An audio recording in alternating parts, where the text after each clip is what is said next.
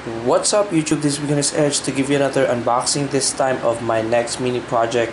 This is the SD Gundam EX Try Burning Gundam. And just to give you a turnaround look of the box on the side. And as you can see here, still with plastic, uh, retail is like 600 yen, so around $6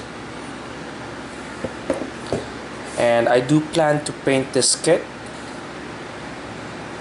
but not in a custom paint. Hopefully close to its uh, original color. So let's go off with the unboxing.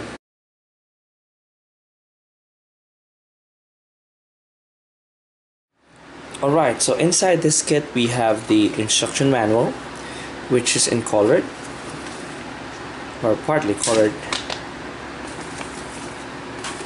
we have four different kinds of runners. We got the B runner which is the V-fin. We got the polycaps.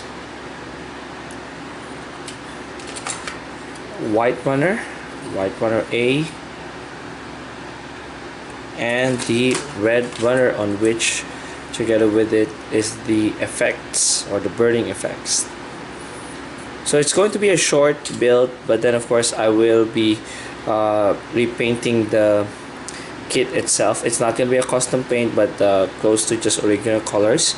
And um, we do it does come with uh, decals but I would have to figure out if I'm going to be painting or just using some of the decals. So please do stay tuned for the results of this upcoming build which is going to be a short build once again, this is Beginner's Edge. Subscribe and enjoy.